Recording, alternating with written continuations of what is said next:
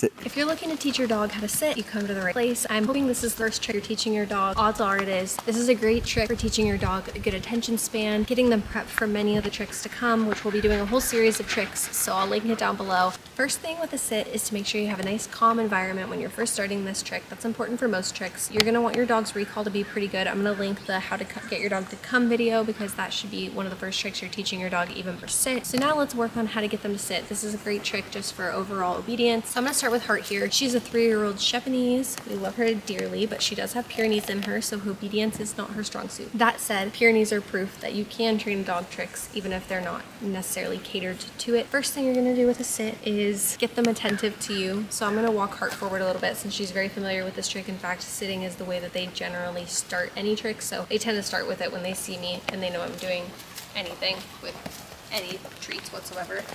Good girl, Heart. Okay, so as you can see, she's kind of leaning her head up, and so the first thing you're gonna wanna do with a dog, a puppy, is kind of get their nose, get them moving like this, and then you'll bring it up.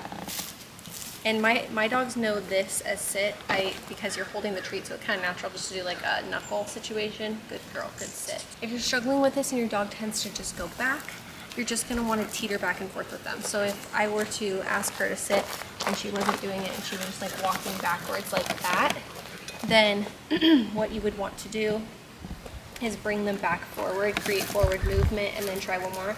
And I also recommend doing a slight foot forward. If you have a young puppy, keep in mind that puppies struggle to lay down on their, sit on their butt when they're very young. Their muscles aren't good at holding their posture upright like this, so they tend to slide out into kind of like a lay down position. So be aware of that and maybe pick like a carpet or something just to set them up for success. They have plenty of traction for practicing this new trick. When your dog is first learning new tricks, they may have a smaller attention span. I recommend getting a clicker. These will help you identify their positive behavior right away. The fact that I have a Pyrenees here shows you that you don't need to have in a super obedient breed like a German Shepherd to get good results with your dogs. I hope these tips were helpful for you. Leave any comments down below if you have suggestions for other people on sit or if you have questions about sit and I'm sure we can help you down below. I wish you the best of luck. When in doubt, love it out. We'll see you in the next one.